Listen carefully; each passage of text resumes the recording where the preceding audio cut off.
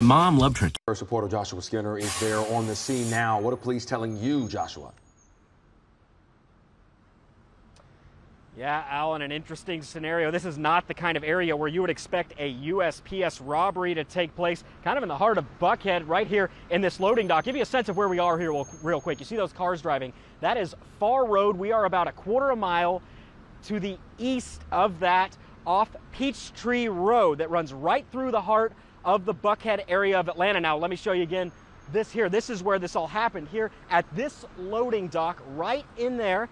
And uh, this is loading dock, several businesses in here. There's a spa, there's a huge apartment complex, uh, there's some other, uh, there's a, a, other, another, actually a third spa in here. There's a few businesses in there. Police tell me that this incident happened around 12:15 p.m. The good news, they say nobody was hurt. Now we are still waiting on information on the specifics of this robbery. If any arrests have been made, if police are looking for a suspect or suspects, and what the robbers may have made off with. We don't know that information yet. Now the scene has been cleared. You can see traffic moving in and out of here right now. We did see private security as well as a USPS representative earlier on. He has declined to comment, telling they'll give us more information uh, as this situation evolves. But right now, police say there is no immediate threat uh, to people in this area. But again, not a place where you would expect to see this. So we'll keep uh, keep our eyes on this as this investigation develops. Reporting live in Buckhead, Joshua Skinner, Atlanta News First.